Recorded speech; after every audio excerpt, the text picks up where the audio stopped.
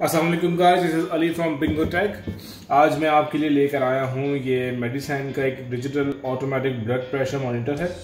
और इसमें आपको क्या क्या फीचर्स मिलते हैं और एक काफ़ी स्लिम एंड स्टाइलिश किस्म का ये जो है ना, एक ब्लड मॉनिटरिंग मशीन है।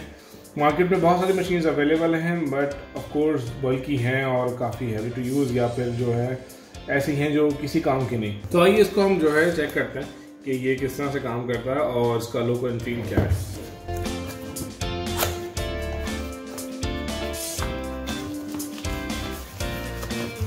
सबसे पहले तो एक पैकेट खोलते के साथ ही आपको जो एक एक बहुत खूबसूरत सा एक पाउच मिलेगा, जो कि आई थिंक काफ़ी अच्छा है। लाइक इसको डस्ट वगैरह से प्रोटेक्शन देने के लिए काफ़ी बेहतरीन है।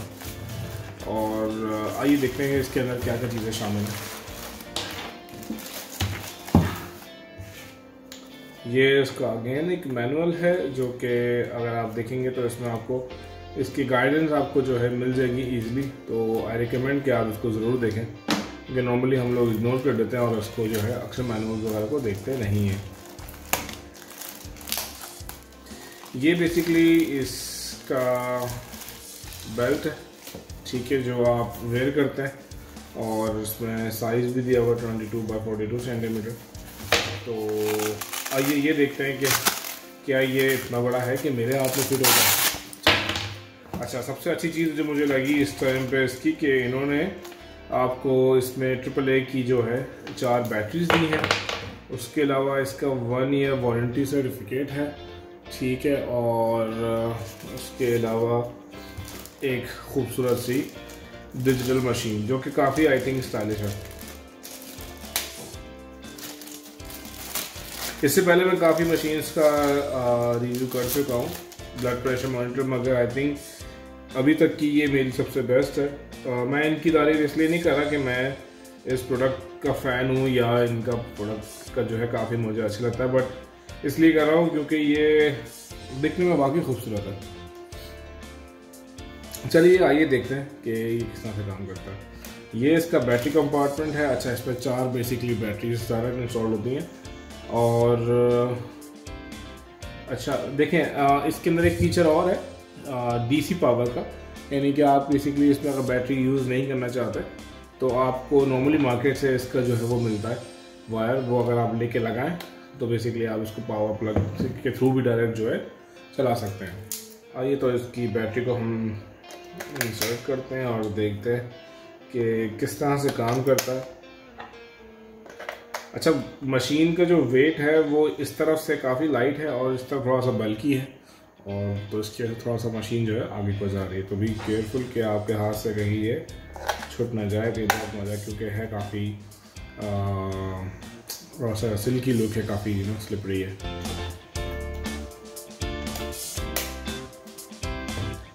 ठीक है देखिए इसमें इंस्टेंटली जो है इसमें टाइम नज़र आना शुरू हो गया।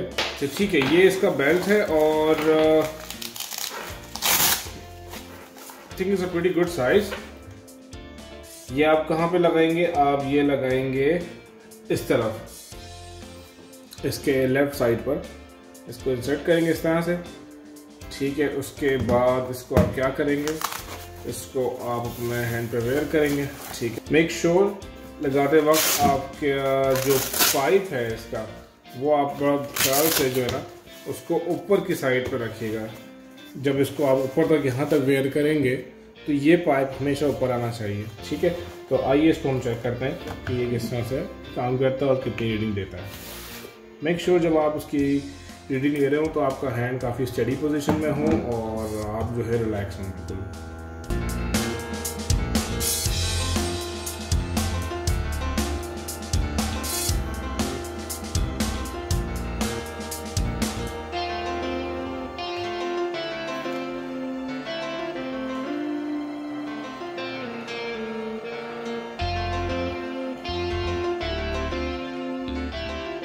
मेरी पल्स डिटेक्ट हो चुकी है। अब ये रीडिंग ले रहा है इस टाइम पे। थोड़ा सा आप कुछ सेकेंड इसके लिए वेट करें और फिर रिज़ल्ट देखें क्या आप क्या रिज़ल्ट लेते हैं।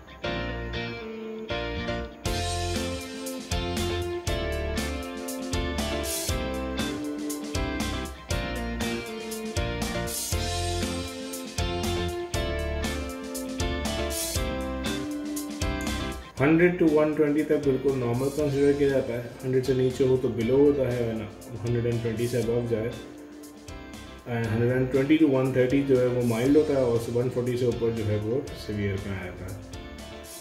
देखते मेरा क्या रिज़ल्ट क्या आता है इस टाइम पे।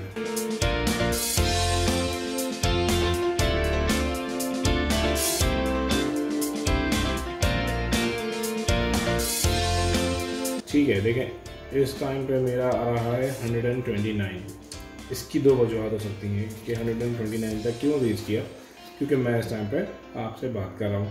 बात करते करते मेरी पल्स है मेरी सांस ऊपर नीचे हो रही है, जिसकी वजह से पॉसिबल है कि ये 129 पर रीच कर जाए अच्छा आइए इसको एक दफ़ा और देखते हैं। विदाउट बिल्कुल मैं इसमें कुछ भी नहीं बोलूँगा और इसमें देखते हैं रिज़ल्ट क्या आता है